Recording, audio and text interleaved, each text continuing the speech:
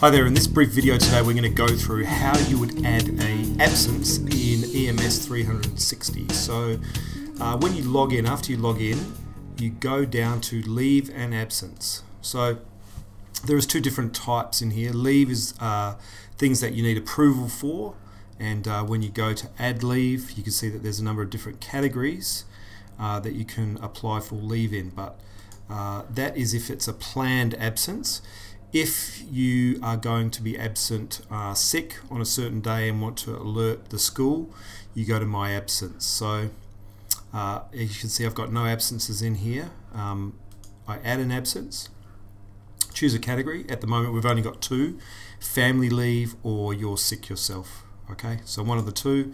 We might uh, give a reason there that we're sick.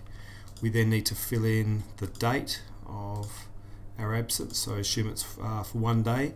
Are you providing a medical certificate, no or yes? If it is no, uh, you can save it by all means and you can come back later. If yes, you can give the doctor, clinic name, email and phone, and then click on save absence notification and that is it, you're done.